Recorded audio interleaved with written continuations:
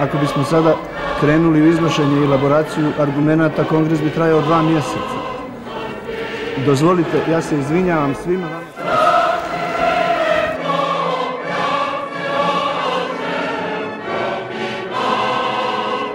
da su se nažalost stekli uslovi da napustimo 14. kongres Saveza komunista Jugoslavije